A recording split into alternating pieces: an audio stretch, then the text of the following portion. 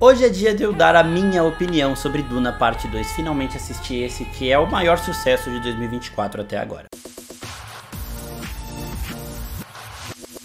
E aí, seus geeks, tudo certo? Eu sou o Marcos Veloso, estou aqui para dar a minha opinião sem spoilers de Duna parte 2. Eu digo sem spoilers porque muita gente pediu mais vídeos de Duna aqui no canal. A recepção de vocês em relação ao resumo de Duna parte 1, inclusive, foi ótima. E eu vou fazer mais vídeos e por isso eu vou fazer essa opinião sem spoiler, para guardar os spoilers para comentar algumas das coisas, alguns dos pontos principais desse filme, né? Explicar alguns conceitos, algumas nomenclaturas, algumas organizações, exércitos e tudo mais. Então, dá para fazer bastante vídeo aqui comentando coisas que foram apresentadas nesses dois filmes pra gente entender mais do mundo de Duna. Então, já se inscreve aí no canal e também ativa o sininho e depois, se você ainda não viu Duna parte 2, assiste o resumo da parte 1 que tá aqui linkado no card e pode ficar tranquilo em relação a esse vídeo aqui porque não vai ter spoiler de nada. Bom, primeiro de tudo é que eu deveria estar fazendo esse vídeo aqui de terno, mas o tempo, o calor intenso de São Paulo não me permitiu. Então vamos começar falando das atuações. Primeiro de tudo, o Dan Villeneuve deu uma entrevista falando que os, o elenco jovem de Duna Parte 2 é composto pelas maiores estrelas do futuro de Hollywood. E eu me arrisco a dizer que os cinco atores aqui jovens que estão nesse filme são cinco dos mais promissores,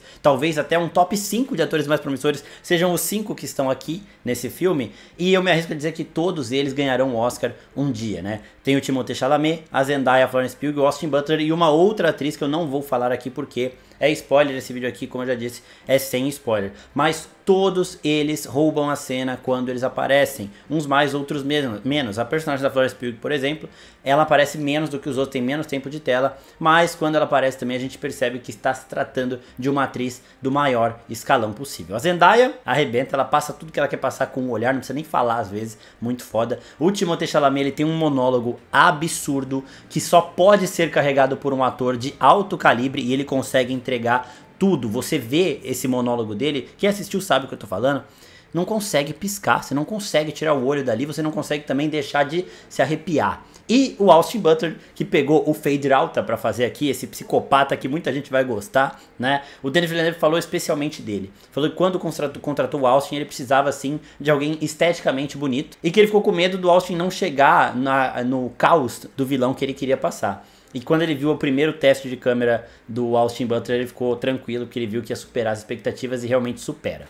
Antes do filme ser lançado, antes de eu assistir o filme, na verdade, tinha gente falando, comparando o vilão, o Fade, aqui de Duna Parte 2, com o Coringa do Heath Ledger e com o Anton Sigurd, do Javier Bardem, que é de Onde os Fracos Não Têm Vez.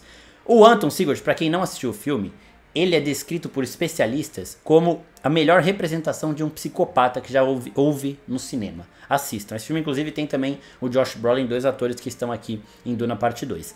E o Coringa do Heath Ledger, eu não preciso falar nada, né? É a melhor representação do Coringa que a gente já teve no, no, cinema, na TV, em qualquer lugar. E é um dos maiores vilões da cultura pop. Esses dois são dois dos maiores vilões da cultura pop. E o Fade, ele não chega no nível desses dois, mas ele chega no nível de um vilão que sim vai ser lembrado, né? Um vilão, na minha opinião, por exemplo, que passa mais medo que o Voldemort, né? Na minha opinião, não fiquem bravos aí, mas é um vilão que assim, ele não tem muito tempo de tela também, ele não tem aquele poder de dominar os outros como o próprio Voldemort tem, de ser a grande ameaça, mas ele é alguém que passa a ameaça que tem que ser passada, né? Tem uma cena ali que não dá nem para respirar, que a gente vê ele entrando e você fica preocupadíssimo com os personagens que estão à frente dele, né? E ele traz um dano bem pesado também para a narrativa. Então todas as cenas que o Fade aparece, ele destrói. Destrói do jeito mais positivo da palavra. Não dá para colocar ele no mesmo nível desses dois que eu citei, porque são dois dos maiores de todos os tempos, mas ele chega assim num nível elevadíssimo, né? numa segunda prateleira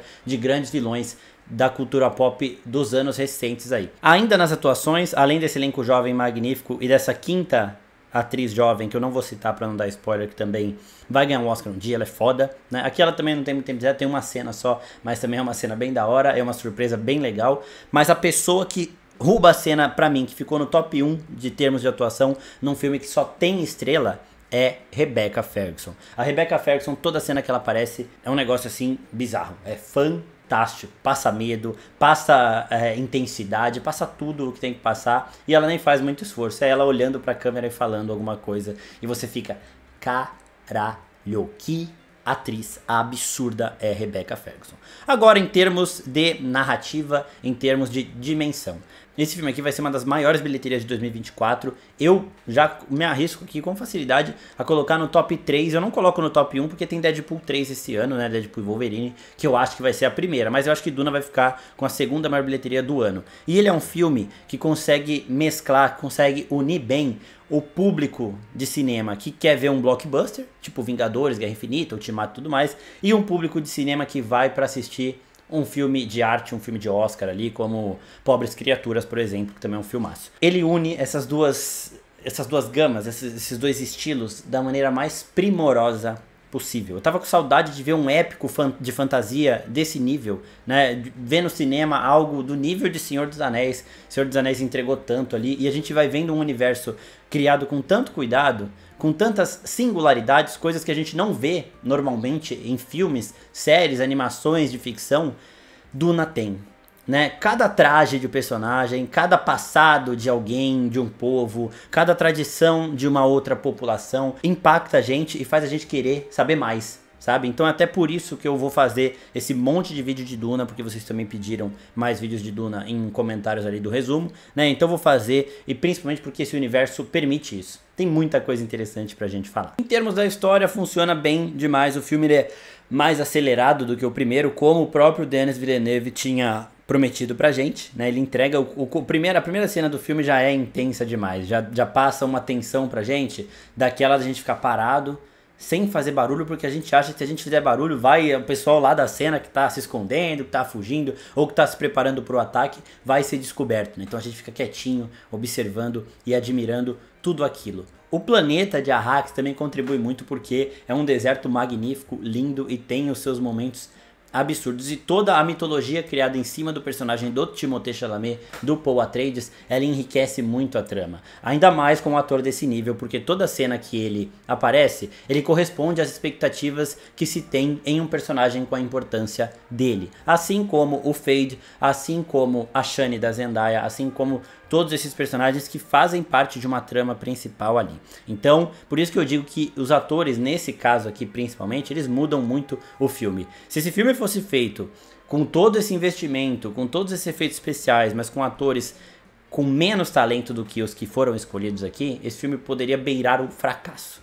Tá? Porque por mais que ele seja gigantesco em termos de efeitos práticos, em termos de cenário de fotografia, ele depende muito da atuação. E os atores que estão aqui sabem disso e entregam muito isso. Javier Bardem vai ter um lugarzinho no coração de vocês, também por ser um alívio cômico. Eu não sei se ele deveria aparecer no alívio cômico, mas em alguns momentos ele aparece, né? Porque o personagem do Timothée Chalamet faz qualquer coisa e ele já aponta e fala Lisan al-Gaib, né? Então eu saí do cinema falando isso porque é repetido várias vezes no filme. Tem umas partes que são engraçadas, tem outras partes que são muito foda. E tem momentos do Timothée Chalamet, do Paul Atreides, que você vai repetir. Lisan Al-Gaib. E para quem quer saber sobre Duna Messiah, né, gente? Tem um terceiro filme aí. Este segundo filme e o primeiro, eles juntos compõem um livro da saga de Duna, né? Que tem alguns livros ali, mas esse compõe um livro, uma história fechada. E nós temos Duna Messiah, né? Dune Messiah, que é o Messias. Seria o complemento para uma trilogia épica cinematográfica e vai acontecer, tá bom, gente? Esse filme, como eu já disse, vai ser uma das duas maiores bilheterias do ano, junto com Deadpool 3. Me arrisco a dizer que esses dois aqui são imbatíveis, mesmo tendo Godzilla e Kong e alguns outros filmes gigantes, como Planeta dos Macacos, que eu também tô colocando uma expectativa absurda. Mas eu acho que esses dois vão ficar no top 2 maior bilheteria do ano, porque não tem como. Eu fui ver Duna parte 2 duas horas da tarde de uma segunda-feira e quando eu cheguei para comprar meu ingresso, 20 minutos antes de começar o filme, tinha um lugar. Um lugar ali no meio. Né? Tinha no, nas pontas, tinham alguns ali, poucos lugares também. Era uma sala grande, uma sala IMAX, e tinha um lugar na, em toda aquela parte de fileira do meio e foi bem no meio mesmo, né? Não era tão para baixo, tão para cima, ainda bem que eu estava sozinho, porque senão se fosse para comprar para duas pessoas do lado ia ser lá no cantaço, né? Então, realmente foi chocante ver a sala cheia daquele jeito num horário de tarde de segunda-feira, dia útil, né? Então, assim, é eu fico feliz por isso, porque a gente vê que o cinema tem um gás absurdo quando se trata de um, uma produção desse nível. Assista do na parte 2 na maior tela que você conseguir, assista no cinema, se der para ver em IMAX, veja em IMAX porque vale muito a pena. Eu espero que vocês tenham gostado desse vídeo. Se inscreve no canal e ativa o sininho para receber as notificações de quando a gente voltar a falar mais do universo de Duna. Não vai demorar. Ainda essa semana eu pretendo entregar mais um vídeo desse universo. É isso, pessoal. Muito obrigado e até a próxima. Tchau, tchau.